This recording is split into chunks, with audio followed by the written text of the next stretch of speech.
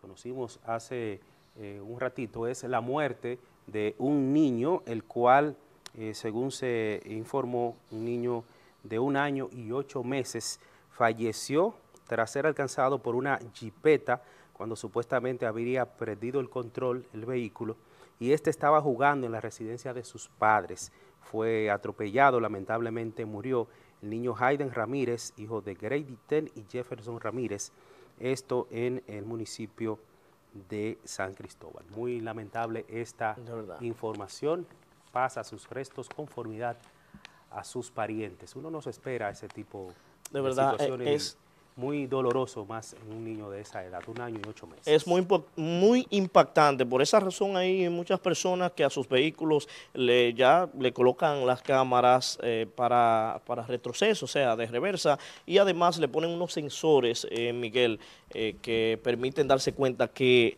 algo está detrás, o sea, vibra, para, si hay algún obstáculo, vibra para, para que se detenga. Eso es muy importante por esta clase de hechos lamentables, porque cuando se trata de un niño, de verdad que es muy doloroso, sobre todo para sus familiares, es algo devastador. Y lo lamentamos muchísimo el caso de este menor.